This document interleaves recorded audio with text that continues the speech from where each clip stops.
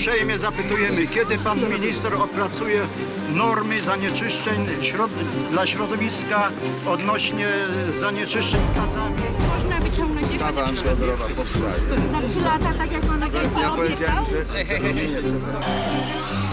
Could you please tell us what, what are your concerns? Pierwszy problem to jest koncentracja przemysłu szkodliwego dla środowiska, a więc fermy, przemysłowe fermy tuczu, zakłady utylizacyjne, Ja chcę czyste powietrze, żeby nie śmierdziało, żeby moja wnusia żyła w czystości, w czystym powietrzu, zdrowo, tak? Żeby mogła żyć naprawdę zgodnie z przyrodą i żeby nie było korupcji. Wszystkiego, tylko nie korupcji.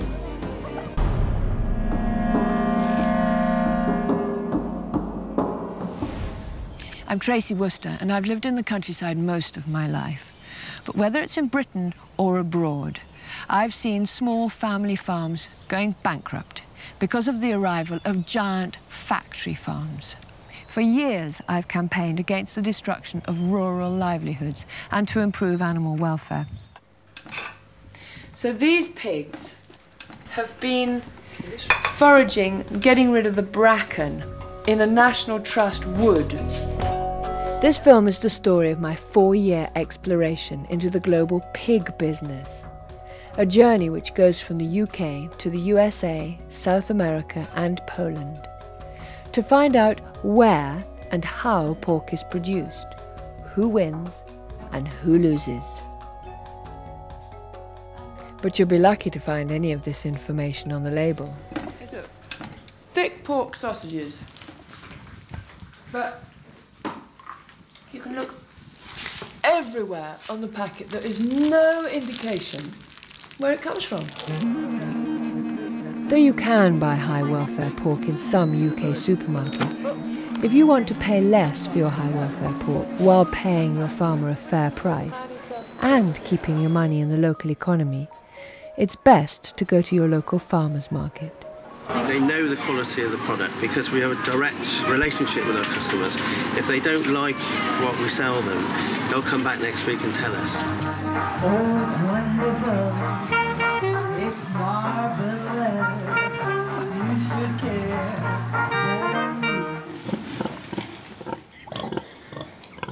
For stallholder Mike King, the secret of producing top quality pork lies in the humane treatment of his animals. I think pigs, are, they're such intelligent, sort of inquisitive animals. They need to be active all day long, searching for roots and grubs and things like that. Whereas pigs in concrete boxes, um, they've got nothing to do all day long. They're totally bored.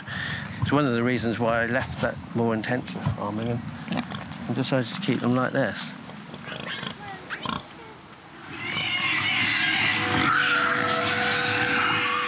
The intensive farming Mike referred to was pioneered in America, and it's the way most supermarket pork is produced.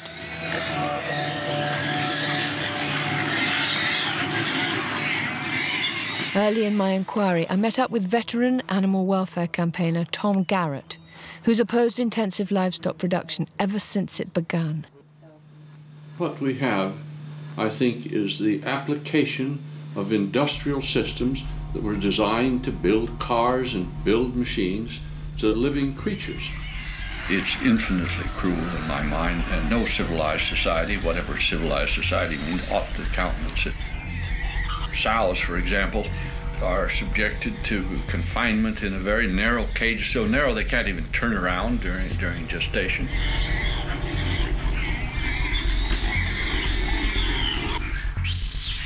Workers in these installations cease to regard the animals even as alive, I think.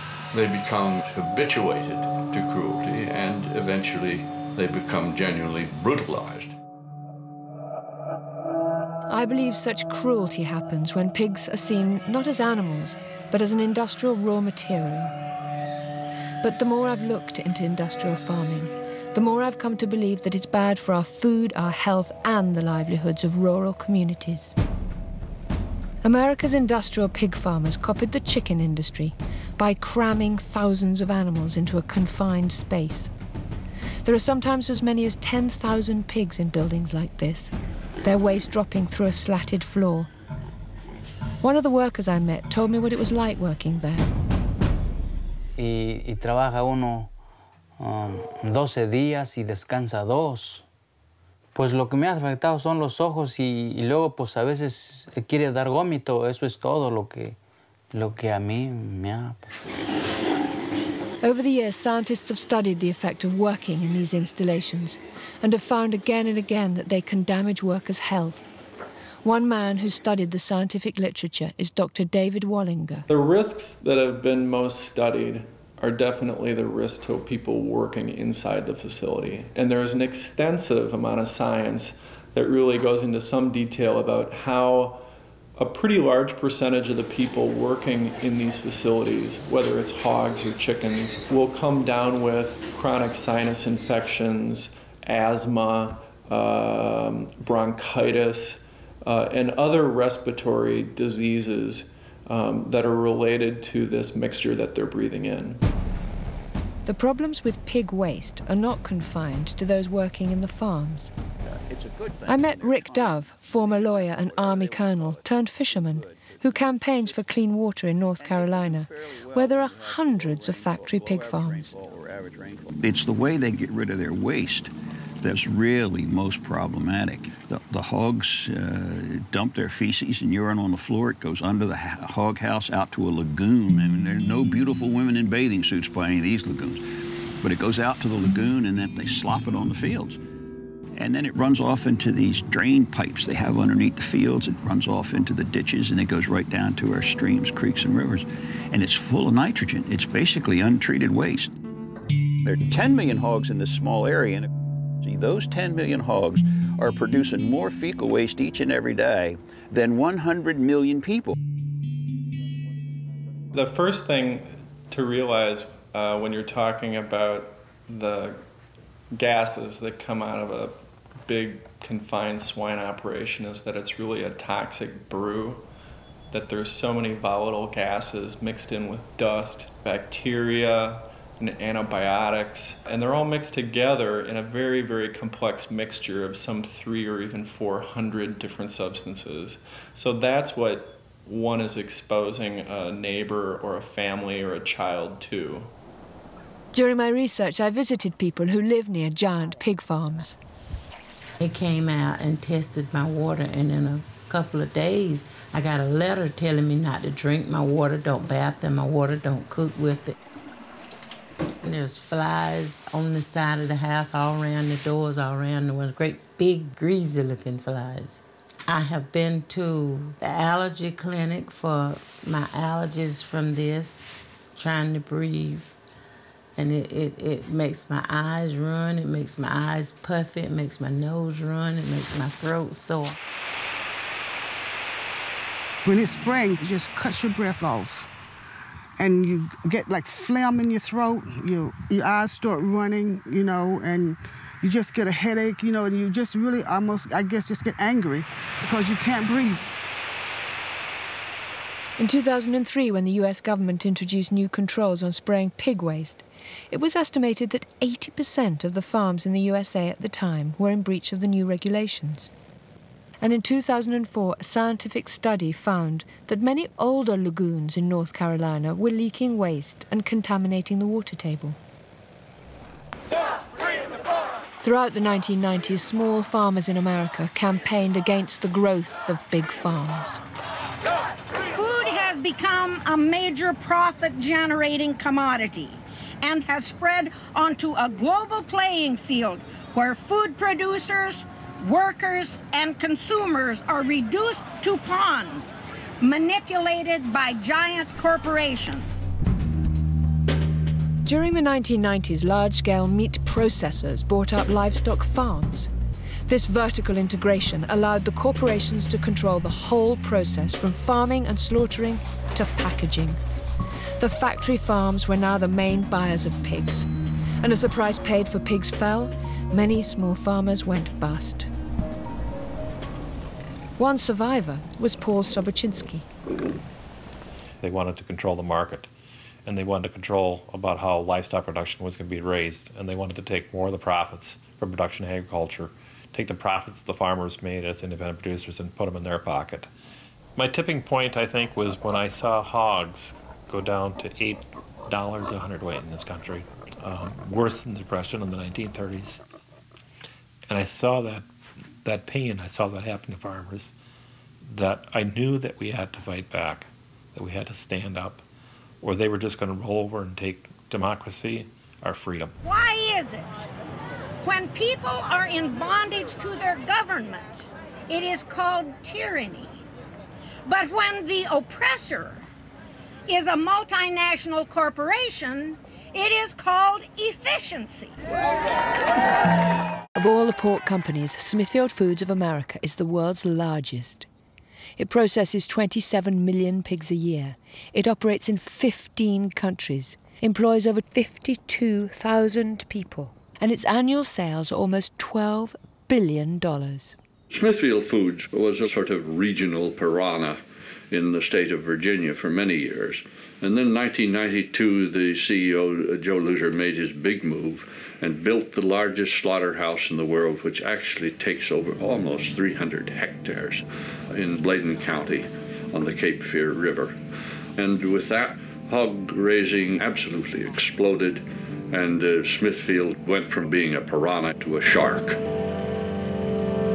In 2008, I went to North Carolina to see Smithfield Foods operations at their Tar Heel packing plant. 32,000 pigs a day are killed. It's a noisy, dangerous place to work. The workers have to work under extreme colds, extreme heats for long periods of time, working on the line with knives and equipment, and uh, a lot of them are getting hurt. You know, I mean, recently, just you know, last week, a worker had his arm ripped off. We have people that are getting their fingers amputated by the machinery and the knives and stuff. The company has targeted the immigrant workforce because they, uh, you know, they understand that, that many may be undocumented and may be afraid to, to speak up when they're being violated, you know, and when the company is, you know, abusing them and stuff. So, you know, that's that to them that's a perfect workforce. You know, workers that'll stay quiet and just do what they're told and, you know, work under any conditions. Opposition from farmers and environmentalists to the growth of factory farming had some small victories. In 2001, North Carolina banned processors from buying livestock farms and also banned new build factory farms from installing the lagoon and spray system. Around this time, many agribusinesses started to look abroad. And a country to which Smithfield turned their attention was Poland, destined to join the European Union, and a country where land and former state farms were relatively cheap, labour costs low, and regulations light. In Poland, Smithfield bought the former state-owned slaughterhouse, Animex, followed by 21 state farms. Its managing director explained why. We are in the farming business because we want to make money on it, yeah? And, and we believe that this has a great future. First of all, we are by far the biggest farmers in Poland. Secondly, we believe that Poland is a great opportunity for, for let's say, a foothold to get into the European market. In Poland, the arrival of big foreign factory farms coincided with a change in the law, which reclassified the definition of pig feces from sewage to fertilizer. This enabled the farms to use spraying techniques like this, common in America. No, raczej skorzystali ci, co używają dużo tej gnojowicy. I to jest, powiedzmy, jeden z negatywów rozwoju gospodarczego w Polsce.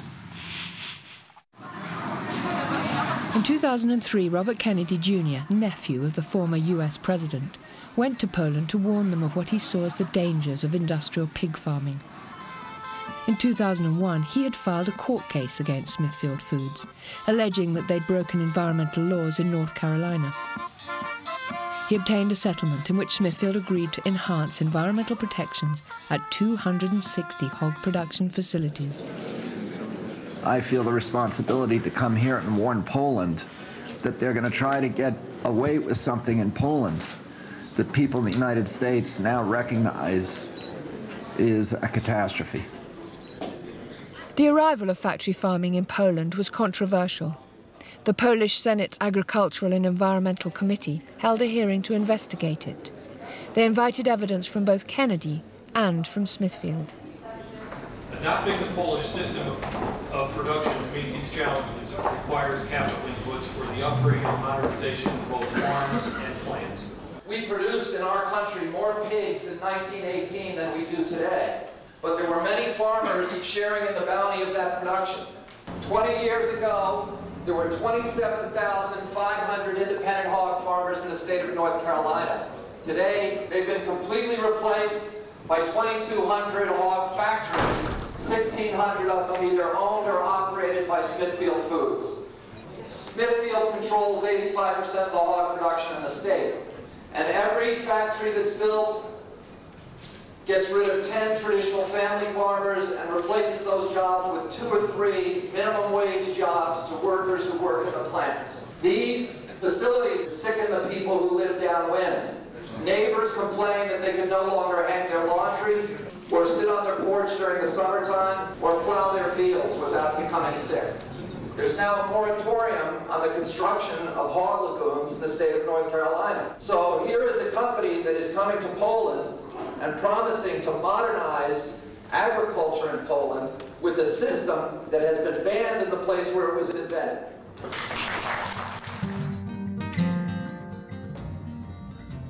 In the same year that Kennedy visited Poland, a government report was published which showed that all 14 Smithfield farms inspected had violated environmental, construction, health, and veterinary regulations by failing to dispose of the waste, failing to look after their employees' health and safety, and the improper storage of dead animals.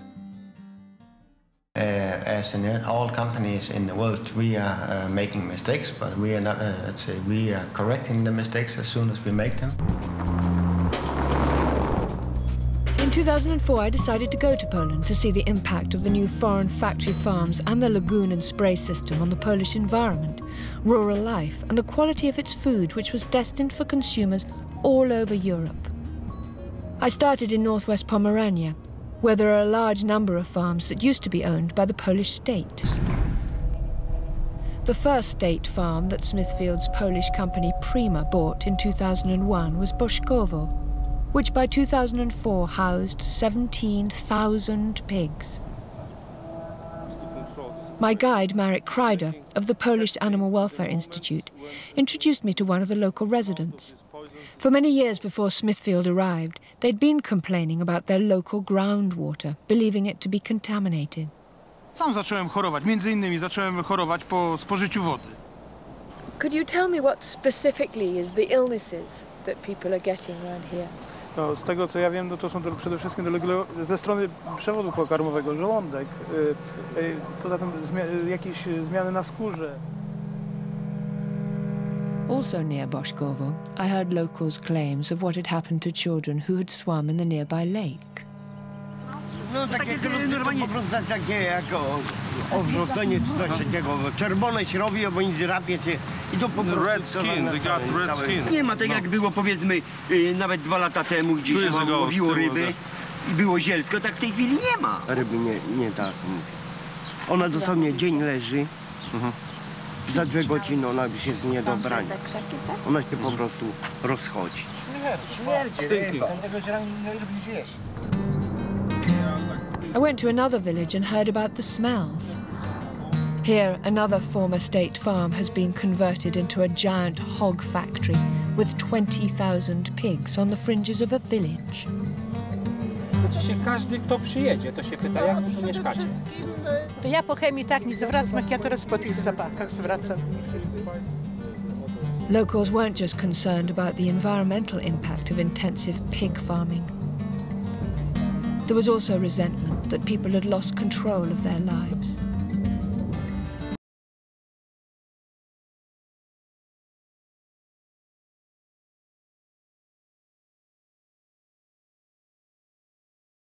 Jak większość mieszkańców tutaj, mm, myślimy o tym, żeby użytkować tą ziemię, ale y, sami z korzyścią dla nas, dla innych mieszkańców i produkując przede wszystkim y, zdrową żywność. Niestety nie mamy takiej możliwości, ponieważ firma Prima y, sukcesywnie wykupywała, dzierżawi, przepraszam, wszystkie grunty dookoła tej miejscowości, właściwie w promieniu powiedzmy nawet 20 kilometrów. Nie, my się z tym nie zgadzamy i to jest nie do przyjęcia, bo to są typowe praktyki monopolistyczne. monopolistyczne. Czyli te, te ceny na, nagle spadły na żywiec, tego nie? stopnia, że nikt krowy nie chowa ani świnie, a There is pole no- stoi nobody has jest, takie teraz rząd. To jeszcze, my to jeszcze, jeszcze, ale teraz te nasze dzieci, to nie wiem co będzie. What will bo happen ani with our roboty children? nie ma nigdzie, No job. wszystko bez robocie i te dzieci chody muszą kraść. No, wszystko chodzi i i roboty nie ma nigdzie. Zapowiada się taka bieda, że będzie złodziej na złodziejuje. Okay. By now, I wanted to see inside one of the factory farms. One person and no camera. Okay, why don't you want the camera there?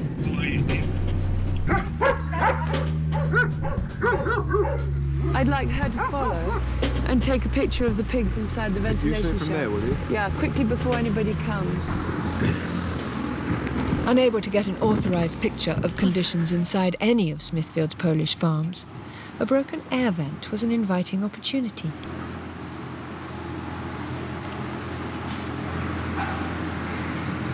The hard slatted floor deprives them of their instinctive rooting. Plus, there's no straw for bedding. Co Państwa tak interesuje tutaj? I think we should skedaddle. Shall I run with that? Well, we don't want them to take our camera. Let's go. Let's leave. Though I wasn't able to film inside a factory farm, after a tip off, in 2005, an undercover team from Compassion in World Farming filmed at a Smithfield farm, showing what was in the stinking cesspit they called a lagoon. Is there a bigger stick? Take them out. Oh, that's, that's, that's Smithfield responded to these pictures by saying it was physically impossible for dead pigs to get into the lagoon, and they would never tolerate disposing of them in this way. And they also claim that local officials, after an investigation, concluded that the pigs found did not come from their farm. Later in the same year, another team from Compassion in World Farming managed to get inside one of Smithfield's farms at the village of Viskovice.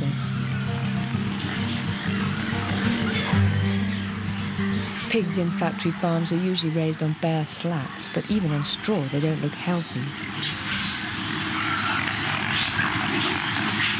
Some really lame ones in there as well.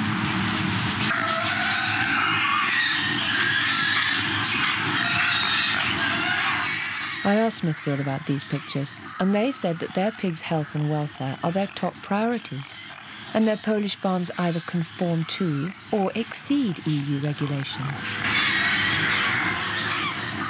Although I've asked them twice, with regard to these particular pictures, they say that the allegations and the events described are absolutely false. Alicia Samley's farm has been in her family for generations. Nasza produkcja świń nie będzie się opłacała, dlatego że powstawają duże fermy i one produkują bardzo dużo świń. W krótkim czasie mają pasze z różnymi dodatkami, dlatego świnie rosną krótko, nasze rosną pół roku i dlatego nie będzie się opłacać. Jak będą ceny spadać coraz niżej, to produkcja w ogóle nie będzie opłacalna. To właśnie się nie podoba, bo duże, duże gospodarstwa mają duże, im więcej hektarów, tym więcej dopłat. A lot of the European officials are saying that the Polish farmers are too small. They've only got 18 hectares. What's too small about that? They want to sweep them aside so uh, larger operators can take over and everything will be eventually owned by the corporations, I think. And what do you think will happen to Poland as a result of that? If Poland's family farmers are exterminated, as it were, it it will destroy Poland's culture and, as far as that goes, its soul.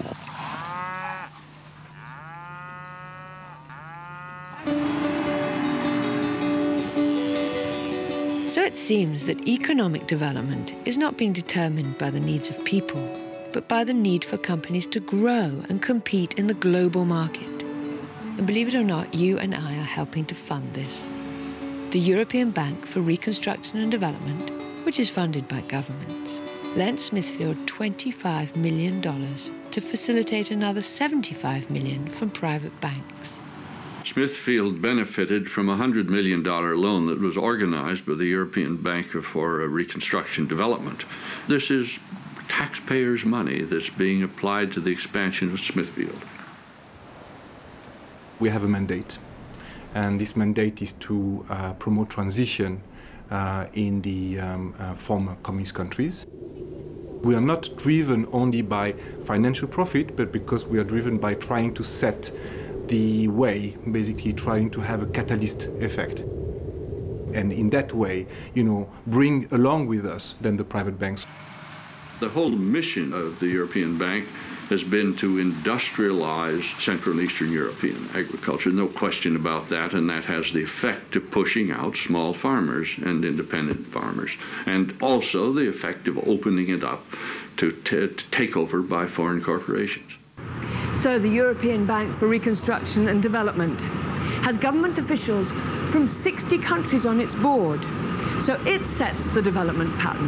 But for who? For you and I, the electorate, the consumer, or for giant corporations and the private banks that invest in them? I moim zdaniem to jest również przejaw pewnej nieuczciwości, nieuczciwej konkurencji w stosunkach y, międzynarodowych.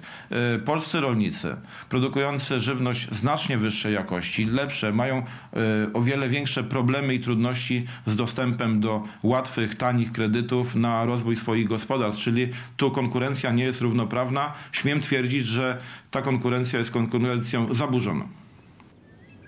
I wanted to find out who's driving this economic ideology which promotes big business at the expense of small farms. So I went to see economist Bernard Lietaer, a former central banker and successful currency trader, now a university professor. The financial institutions are running the show. The governments are all indebted to them. In the United States, a third of all contributions to political campaigns are done by the financial institutions.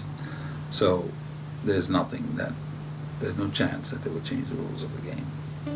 I would compare the money system as a ring that we put through our nose.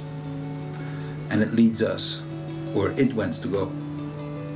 We forgot that we created the ring and that we put it there. So this taxpayer-funded restructuring and modernisation effectively means the end to family farming, which produces good animal husbandry, good quality food, satisfying work, and protects the environment. When I revisited Borislav's Grodziec, he explained how powerless he felt in the face of the advance of industrial agriculture. My nie mamy żadnego wpływu na to, co, że ta firma nam szkodzi. Nawet na dobrą sprawę nie mamy gdzie się poskarżyć, e, że, że ta firma e, robi nam krzywdę.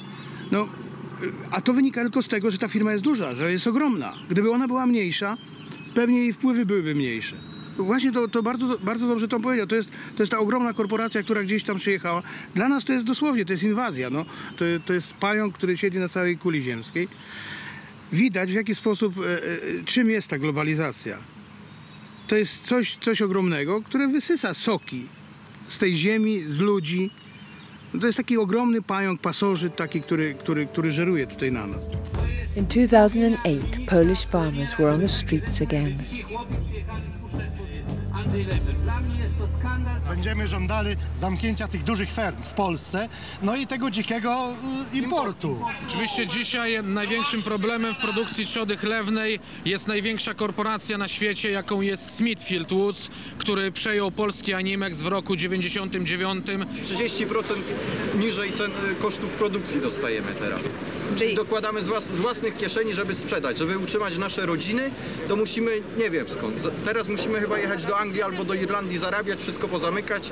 Nie wiem, czy pójdę na emeryturę, czy się powieszę, czy co zrobię, czy wyjadę. So-called cheap meat from factory farms has flooded every market in the EU. And Smithfield has ambitious distribution plans for the UK. In 2008, its web page, using a bit of artistic license with a pig on grass, announced their aim to dominate, or in their own words, to be the preferred supplier to the UK retail and food service industry. To you and me, that's restaurants, schools, prisons, hospitals, etc. So I went to America to check out what Britain's supermarkets could look like. Smithfield, Smithfield, Smithfield, Smithfield. Loads and loads and loads of Smithfield food dominating the pork section. This is the Walmartization and commoditization of every product.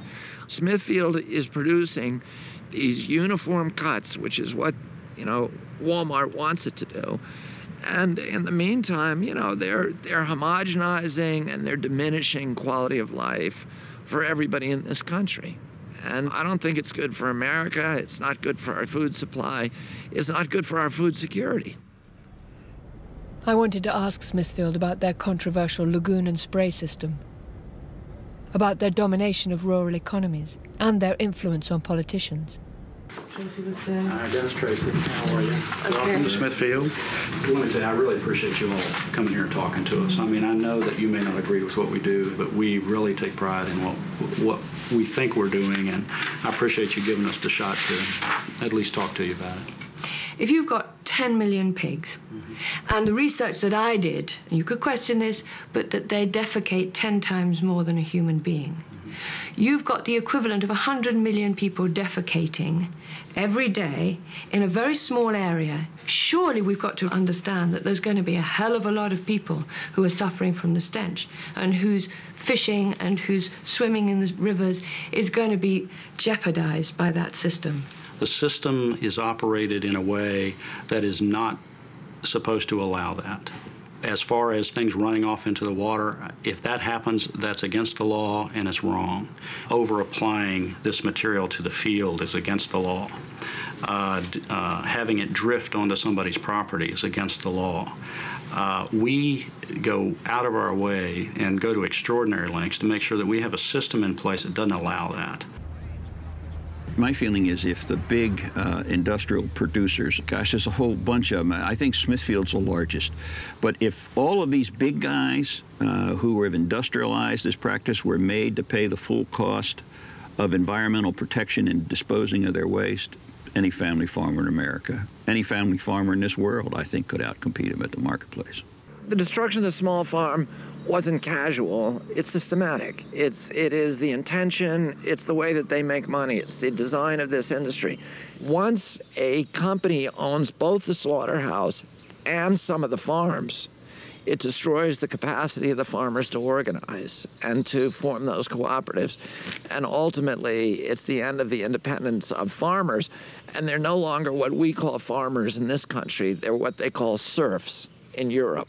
Um, they are no longer in control of their own lives.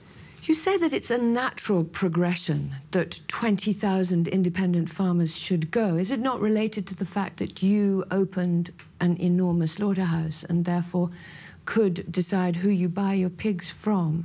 Well, you can you can argue that certainly. I think the common misconception that a lot of folks have is that companies like Smithfield go into our conference room and have a big discussion about how we're going to dominate the market and, and run people out of business and then sell our wares to the marketplace, and that just isn't so. Uh, we are responding to what our customers ask for, which is large, large quantities of, of meat products in a very short period of time, and they want it. Sorry. And they want it in a particular cut in a particular fashion. Oh, you're talking about the retail outlets. That's your customer. Yes, not the consumer. No, no, no. I'm talking about the customer, either the grocery store or the restaurant, uh, whoever it may be. Smithfield is one of the biggest food companies in America, and like many big companies, is a regular contributor to politicians in the states where it operates. You said that you're not trying to interfere with politics, and yet you seem to give a lot of money to politicians who support your position, and they've changed the law to suit the pig industry's position. Political contributions are not common, they are the way of life in American government. It's part of the American system, which is know your representative, make sure your representative knows not only you and your family, but your company and your business, so that as they make decisions, they're aware of the impact of the decisions they're making may have on that company or that community or that person. I think it would be uh, if, I think if you ask any politician here whether they have been purchased by Smithfield Foods, their answer would be no. One of the few politicians never to have accepted campaign funding from any corporation is Dennis Kucinich. The problem with the American democratic system at the moment is that there's overwhelming corporate influence. It influences almost every decision made in Washington. It influences that we have continuing war. It influences that Wall Street has extraordinary uh, sway in Washington. It influences our energy policy, our tax policies. And only a constitutional amendment that would ban private money in public elections would save the country from drifting towards a type of uh, fascism that uh, is being visited upon us by large corporations who want government all to themselves. All of the great political leaders from the beginning of our national history have been warning the American public against the domination by corporate power. Teddy Roosevelt, who was a Republican, said that America would never be destroyed by a foreign enemy. But he warned that our political institutions would be subverted by malefactors of great wealth who would steal them from within. Abraham Lincoln, the greatest Republican in American history, said during the height of the Civil War, I have the South in front of me and I have the bankers behind me. And for my country, I fear the bankers more. And Franklin Roosevelt said during World War II that the domination of, of government by corporate power is, quote, the essence of fascism. And Benito Mussolini, who of course had an insider's view of that process, said essentially the same thing. He said he complained that fascism should not be called fascism, it should be called corporatism, because it was the merger of state and corporate power. And I don't think that corporations running the government of the United States of America has anything to do with American traditions. I don't call it the American way. The arrival of corporate power in agriculture in the UK has pushed farmers off the land and onto the streets.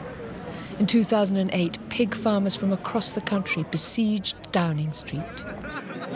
We already know in this country we've lost 40% of the herd in the last 10 years.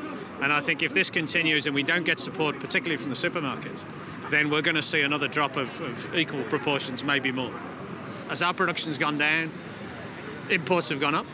And we know from all the work that we've done that 70% of those imports would be illegal to produce in the UK on the grounds of animal welfare.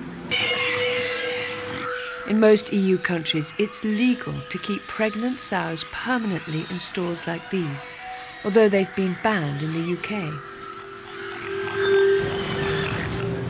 How can they possibly sanction pork to come into this country reared on lesser welfare standards than they force us to do? How can that be right? At the Oxford Farming Conference, I spoke to David Cameron, who, when in opposition, seemed to think it was possible to protect our farmers.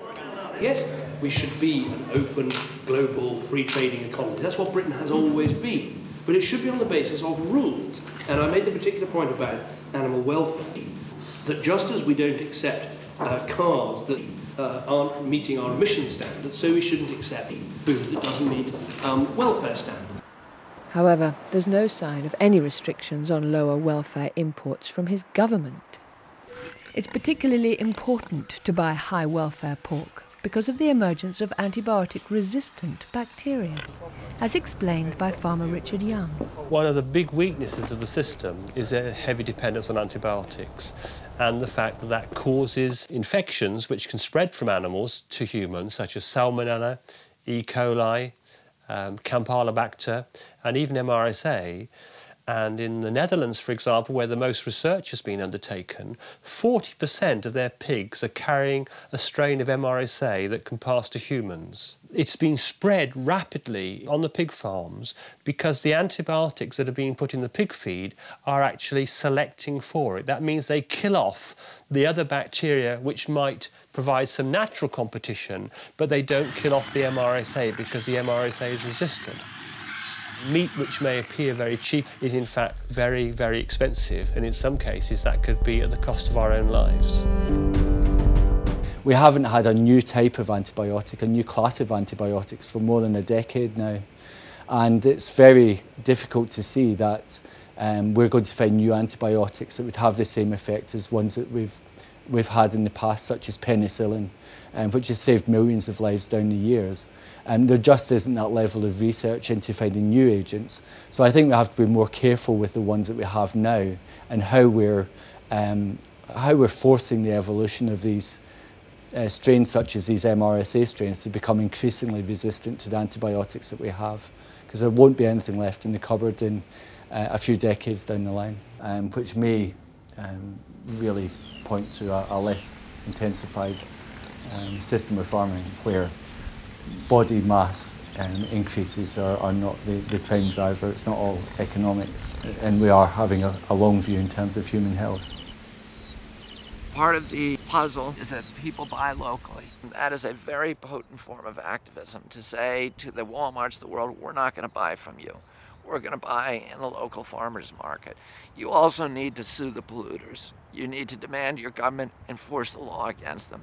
You need to pass legislation that makes it very clear that they can't come into your communities and displace, you know, the, the, the traditions and the values that your country holds dear. And all of us, you know, we had an American Revolution in this country to, to, to create democracy. We need a new American Revolution in this country now to fight against the corporate feudalism that we are now dealing with that is embodied so much by this industry that is eroding everything and subverting everything that we care about in our democracy. It's the same story in Canada, where one of Smithfield's global competitors, Maple Leaf, dominates the pork industry. Maple Leaf. Like Smithfield, Maple Leaf says nothing on the label about how they raise their pigs. These pigs are mostly kept on bare, concrete slats with no straw bedding. The CEO of Maple Leaf refused to give me an interview. So, together with an animal welfare campaigner, I delivered a letter and my film Pig Business to head office, along with a bale of straw. Hello. The property line is, is right here. You got to be Oh, on- okay. on, this side of the property. Not a very genial reception. Hardly surprising, as they are still suffering the fallout from an outbreak of listeriosis in 2008 that killed 22 people and caused a pension fund to withdraw its investment. Animals need the straw. It's a, just something that will soften their life a little bit rather than these crates that they're in and the hard concrete floors that they're on.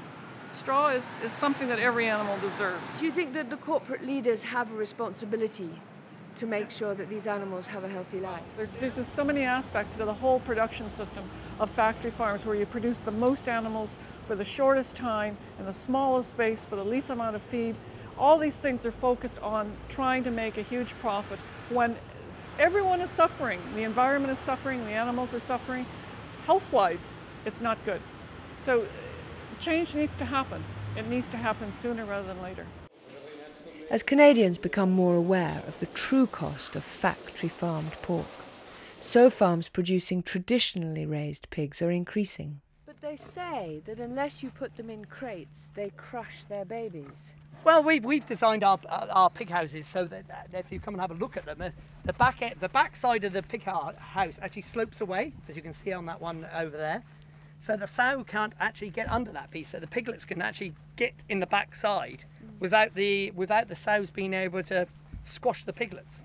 Could you tell me what sort of expenses the factory farms have that you actually save on? They have uh, energy costs we don't have. We don't, we don't have any lighting, we don't have any heating, we don't have any air conditioning, we don't use any of that. Uh, the other big cost is for them is disposal of slurry, manure, antibiotics, things like this. Because farms like these don't have huge infrastructure costs, they're able to produce freedom meat for only 20% more than factory farms. And if I was a farmer and I say I have very happy pigs, can you sell my meat? Would you make sure that I tick the boxes that you feel that you're confident your customers want to eat what I produce? That they are free from stress, free from hunger, uh, and locally raised. That is a big issue right now with wanting to support your local farmers. Uh, and of course, without the use of an antibiotics or growth hormones, that they're growing at their own natural rate. At the farmer's market, where the freedom meat is even cheaper, I met John Rowe, who buys all his meat from traditional farms. This is Tracy Terry. Tracy. And although she's a vegetarian, we're good friends. That's right. But also, why do you come here if you're a I come here because I know how they raise their animals, and that's really important to me. I live in a house of carnivores. So if, if I have to have meat in the house, I know that I have to know that it's how it's raised and how it's it's killed and, and I know their protocols. In Canada, it's legal to add antibiotics to the feed in subtherapeutic, i.e., lower but constant doses to prevent the onset of disease and promote growth. 70% of the antibiotics that are now produced are used for animal feeds. My goodness, I believe that antibiotics have a place.